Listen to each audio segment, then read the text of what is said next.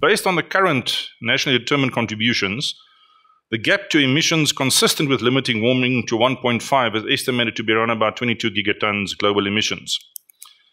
Um, global emissions need to peak between 20 and 2025 to limit warming. We see that emissions have peaked in developed, in some developing countries, but not globally. So, in order to reduce our emissions, we need to cut them, or to reach these targets, we need to cut by 43% by 2030.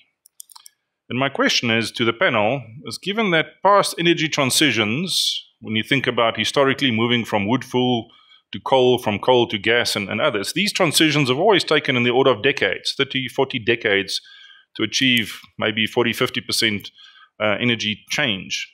So, how do we get this done? How do we effect this energy transition effectively in a decade that in the past has taken several decades? Um, we said earlier there's no quick answers. I'll who, who wants to have a go?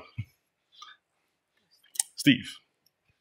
I mean, maybe uh, just to kind of frame the kinds of things that we need to do to get onto 1.5 degree pathway just in South Africa. All right. So, uh, according to the work the National Business Initiative did on net zero pathways for each sector of the economy, we would need to close all coal by 2040. We would need to uh, have a million electric vehicles on the road by 2030 and an absolute ban in the sale of internal combustion engines by 2035. We would need to shift 30% of people from conventional diets to climate friendly diets. That means 100 grams of meat a week. Right? These are not small changes. Right? I, I, I joked, um, I, I made a, a speech at one of the COPs, I can't remember which one, that South Africa will give up coal before we give up meat. right? And I think that's the challenge we face. These are these are socio-cultural issues. And so I don't think it's a, it's not a technical engineering problem. We have uh, the the engineering solutions we need today to solve for 70% of our emissions today, financially viable solutions today. The problem is we're not implementing them fast enough, and that gets back to these kind of socio-political challenges. And so the the key in this is is collective will, and that needs us to really understand the science. And we play into a very complicated space of misinformation and vested interests, both at a sort of national company global level and and those are the things that we have to solve so i think the solution lies not necessarily in engineering and innovation, which of course is important for the remaining 30%, uh, but in really trying to align on a common set of goals. And of course, the global stock take mm-hmm. is kind of what it's about. Uh, but at the moment, we conveniently ignore the degree of the challenge. And I, and I, think that it's obvious that that changes is at, is at community, individual, policy, national, and, and global level. It's not a something we can push out there. An like, individual level. What you know, we have to accept that the quality of life that we as individuals have, particularly those of us in this room, is way higher than is sustainable, and you need to make some real changes. Mm-hmm. I'm interested in uh, your your view on on on this energy transition.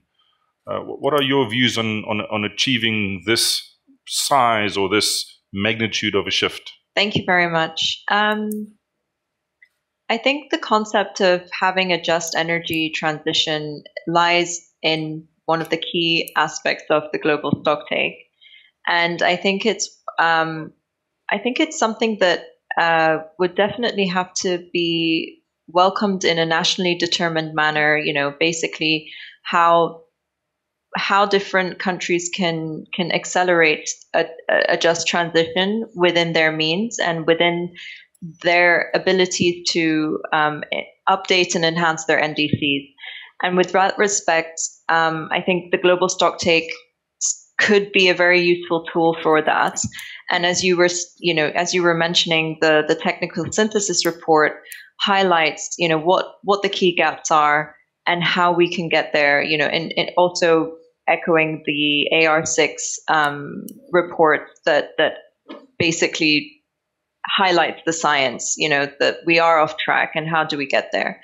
So I think transferring what we have under the technical synthesis report and, and, and really generating key political messages out of that and trying to encourage, you know, multilateralism as its at, at its finest, um, how can um, we collectively come up with a solution that would welcome uh, increasing our ambition in our NDCs, but in a way that complements uh, different nations in their approach towards climate ambition.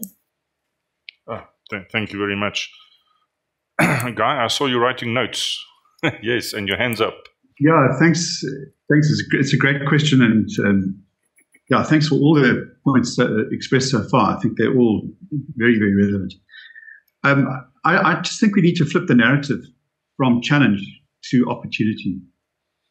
Um, once you once you shift your mindset into one of an, a, a future which is better for everybody, is more equal, is cleaner, and offers uh, better jobs, uh, better lives for everyone, then it becomes a lot more acceptable and a lot more engaging to envision that future.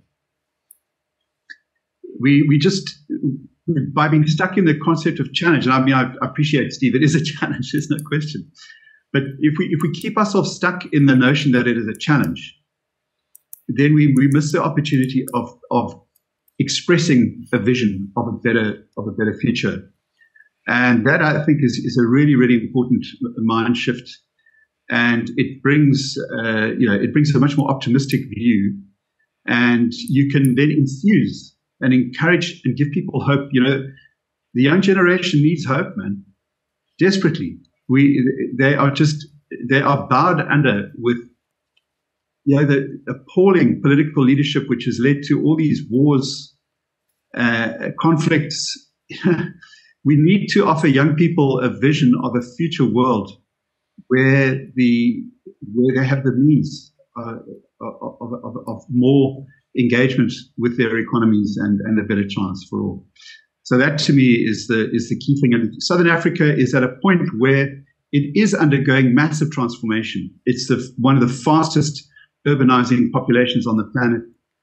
Our population rate uh, of increase is, is dropping.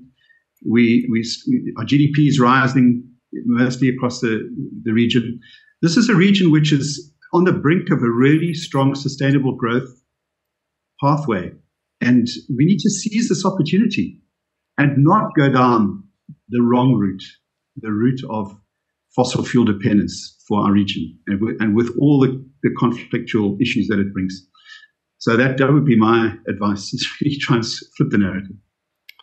Thanks, Guy.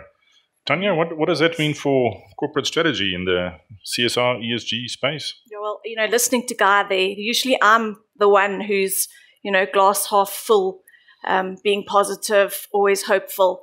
But Guy, I'm sorry, when you are facing 10, we need 10 years.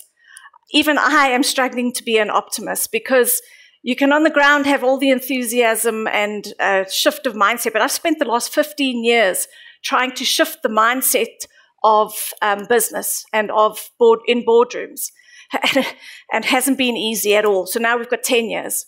And if I think of how, you know, how hard it was then, it's even harder now because now you're actually marrying it down to finance, finance and risk. This is real economy stuff.